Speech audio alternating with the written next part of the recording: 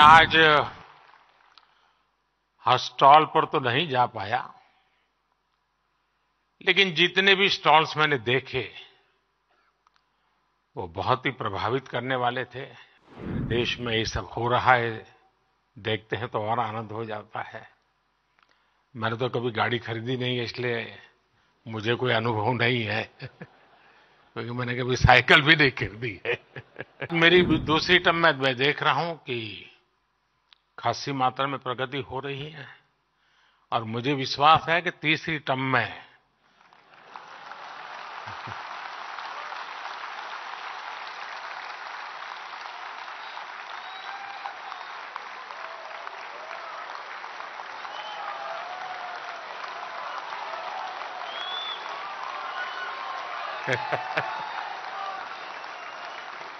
चलिए, समझदार को इशारा काफ़ी होता है। मैं आज, हर स्टॉल पर तो नहीं जा पाया, लेकिन जितने भी स्टॉल्स मैंने देखे, वो बहुत ही प्रभावित करने वाले थे। हमारे देश में ये सब हो रहा है, देखते हैं तो और आनंद हो जाता है।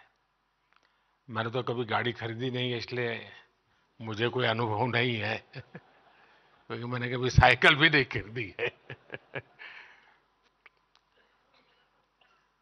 मैं दिल्ली के लोगों को भी कहूँगा कि इस एक्सपो को आकर ज़रूर देखें।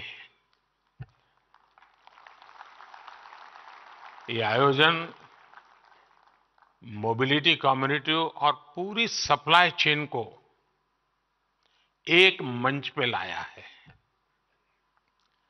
मैं आप सभी का भारत मोबिलिटी ग्लोबल एक्सपो में अभिनंदन करता हूँ और आप सबको बहुत बहुत शुभकामनाएँ देता हूँ। शायद आप में से कुछ लोगों को स्मरण होगा कि जब मैं मेरी पहली टर्म थी, उस समय मैंने एक ग्लोबल लेवल की मोबिलिटी कॉन्फ्रेंस प्लान की थी। और उस समय की चीज़ें अगर आप निकाल के देखोगे तो बैटरी पर हमारा फोकस क्यों होना चाहिए? इलेक्ट्रिक व्हीकल की तरफ़ हमें कैसे जल्दी जाना चाहिए? इन सारे विषयों पर बहुत विस्तार से वो समिट हुआ था।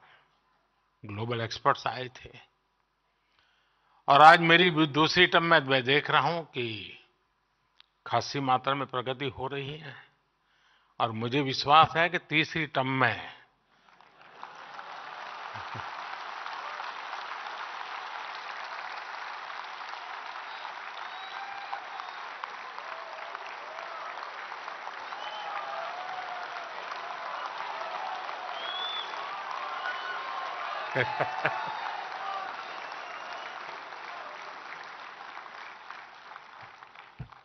चलिए समझदार को इशारा काफ़ी होता है।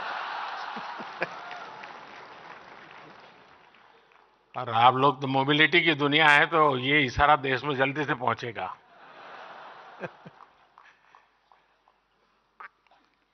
साथियों, आज का भारत 2047 तक विकसित भारत बनाने के लक्ष्य को लेकर आगे बढ़ रहा है। इस लक्ष्य की प्राप्ति में मोबिलिटी सेक्टर एक बहुत बड़ी भूमिका अदा करने वाला है।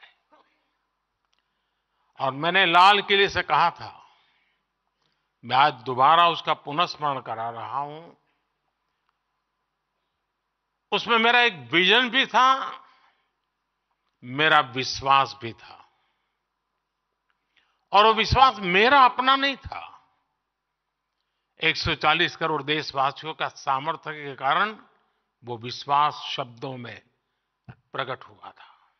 और उस दिन मैंने कहा था लाल किले से, यही समय है, सही समय है।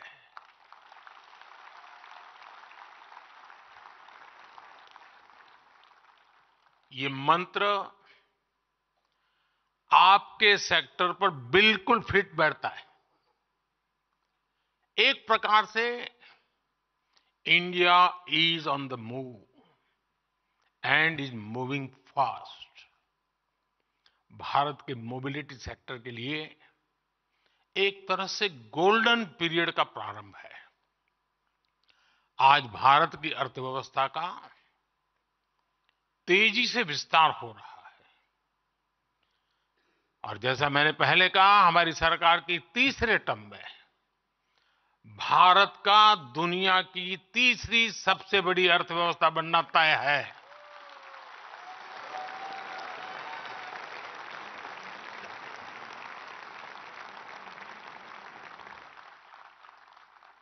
हमारी सरकार के प्रयासों से पिछले 10 वर्षों में करीब 25 करोड़ लोग गरीबी से बाहर निकले हैं।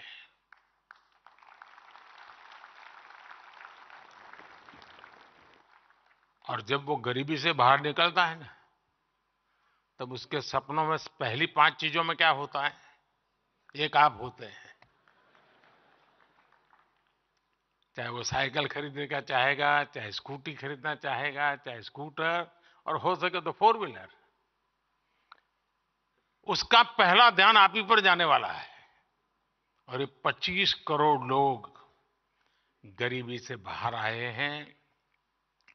आज भारत में बड़ी संख्या में न्यू मिडिल क्लास बना है, जिसकी अपनी आशाएँ अपनी आकांक्षाएँ शायद एस्पिरेशन का लेवल उस सोसाइटी में होता है, उस इकोनॉमिकल स्टार्टअप में होता है, वो शायद ही कहीं और होता है। जी।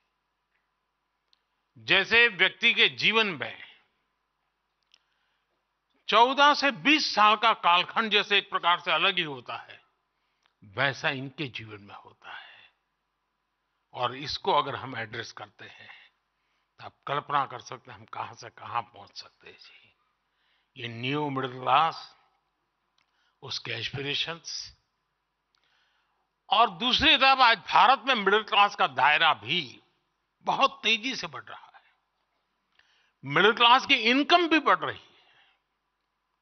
ये सारे फैक्टर्स भारत के मोबिलिटी सेक्टर को नई ऊंचाई देने वाले हैं। बढ़ती हुई अर्थव्यवस्था और बढ़ती हुई आय के बीच बढ़ते हुए कुछ आंकड़े आपके सेक्टर का हौसला बढ़ाने वाले हैं। मोदी नहीं, ये आंकड़े